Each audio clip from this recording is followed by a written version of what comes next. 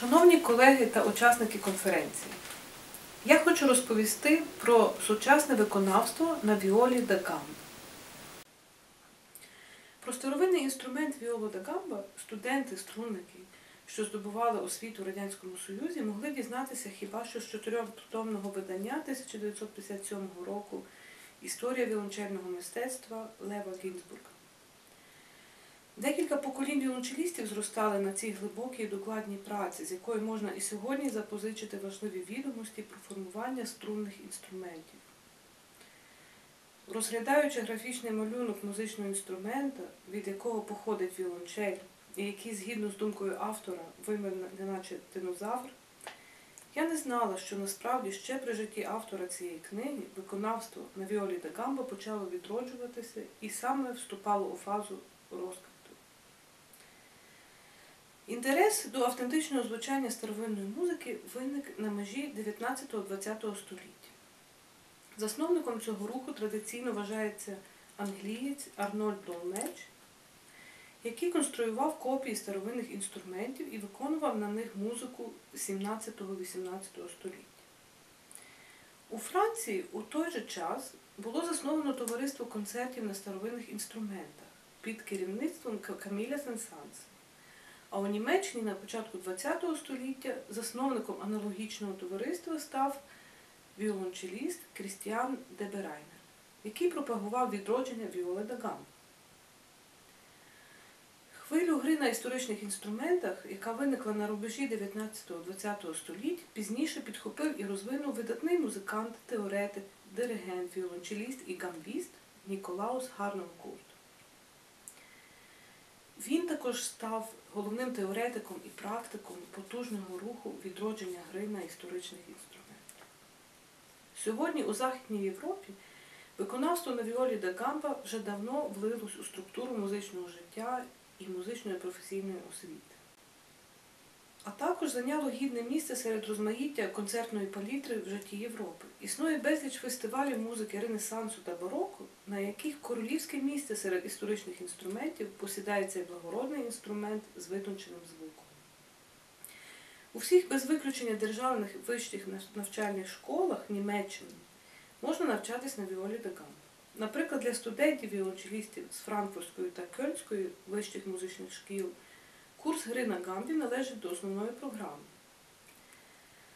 Окрім цього, в Західній Європі існують академії старовинної музики, у яких детально вивчаються документи, ноти, література, танці і музика разом з історичними інструментами того чи іншого періоду епохи Ренесансу або бароко.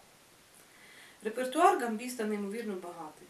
Наведу лише декілька імен композиторів, які творили для гамби у 16 та 18 столітті. Це Джон Дженкінс, Крістофер Сімпсон, автор підручника гри на гамбі, який і у наш час залишається одним з найкращих, Генрі Перселл, Джон Плейфорд. Це все англійські композитори.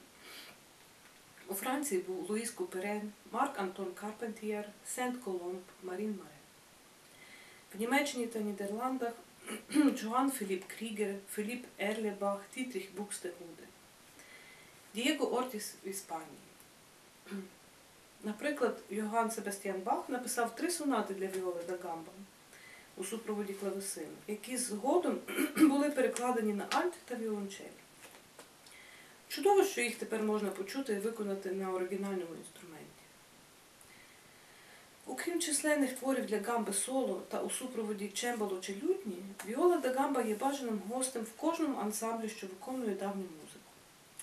Гамба чудово поєднується в ансамблях не лише зі струнними інструментами, такими як віола да браччо, віола д'амур, барокова скрипка, але й з дерев'яними духовими інструментами, флейтою та версу, обоєм та мур, кларнетом та мур, а також з ірландською бароковою арфою чи теорбою.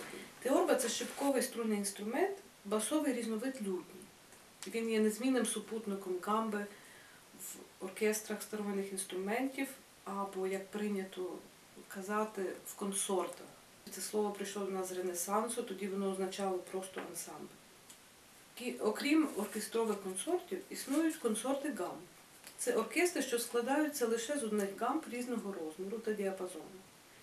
В Англії в кінці 16-го, на початку 17 століття консорти гамб були настільки популярні, що майстри виготовляли інструменти відразу хорами по сім штук різних за розміром.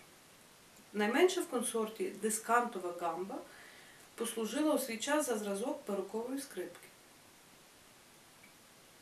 Відомі в наші дні гамбові консорти це Fretwork, Ульсамер Колегіум, Фантазм, Hamburger Ratsmusik, а також Балтімор Консорт та багато інших. Розмаїття гарної музики вражає, а ще більше вражає те, що цілий культурний пласт пройшов повз увагу професійних музикантів, які формувалися в умовах Радянського Союзу, і характерної для нього культурної ізоляції. Мистецтво гри на віолі де гамбо в останні роки завойовує все нові терени і впевнено просувається на схід. У Польщі нещодавно було відкрито клас віоли де гамби у Врославській та Краківських музичних академіях. Очевидно, що ці нові і одночасно такі давні віяння не оминають і Західну Україну. Тут, як і 100 років тому, у Західній Європі все почало з ентузіазму окремих музикантів. Одним з них є засновник та художній керівник фестивалю давньої музики у Львові, відомий львівський музикознавець, аранжувальник, педагог та співак Роман Стельмащук. У цьому році він керуватиме вже 11-тим за рахунком фестивалем, який у великому об'ємі на професійному рівні представляє давню музику різних європейських країн. Протягом минулих років, завдяки йому і його музичним контактам, фестиваль відвідали виконавці-автентисти зі Швеції, Швейцарії, Німеччини, Великої Британії, Нідерландів, Чилі, США, Угорщини звичайно, України, Росії та інших країн. Е, За весь час існування фестивалю у Львові вже багато разів звучала віола да гамба. Перші появи на, львів, на львівських сценах цього досі небаченого інструменту не викликали особливого резонансу серед професійних музикантів. Що, власне кажучи, не дивно, тому що поціновувача автентики потрібно спочатку виховати. І все ж мені пощастило більше. Е, Мій виступ з Віолою да Гамбою на шостому фестивалі е, у 2007 році викликав великий інтерес з боку львівської публіки і не тільки львівської. За день до фестивалю прибула група музикантів з Києва, які приїхали спеціально, щоб подивитись на першу українську гамбістку, як вони мені сказали. І також на віолу да гамбу роботи ужгородського майстра Степана Тихоненка. Ось вона тут стоїть переді мною. Е, Це інструмент, з яким мені вдалося поступити у Франкфуртську консерваторію доктора Гохса у клас ведучої гамбістки Франкфурта Росвіти Брукгайер. І вона дала високу оцінку цьому інструменту. Е, Хочу окремо розповісти про Степана Тихоненка, е, без якого розвиток гри на історичних інструментах в Україні був би неможливим. У 1996 році Степан Тихоненко заснував в Ужгороді власну майстерню і почав виготовляти історичні інструменти за давніми зразками. І він сьогодні виготовляє готичні арфи, фідель, віоли да гамби, лютні, мандоліни. Також він сконструював е, відомий у гетьманську добу український музичний інструмент турбан.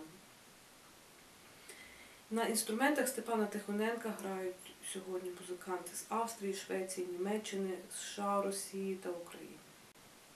Отже, Віола да Гамба впевнено продовжує прокладати собі шлях в Україні.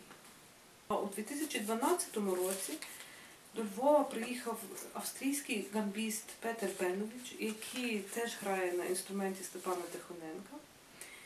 Він приїде також у 2013 році, тобто у цьому році е, на фестиваль старовинної музики, і він буде давати майстер-класи. І що мене особливо тішить, е, наскільки мені відомо, до участі у цих майстер-класах вже записалося троє українських гамбістів.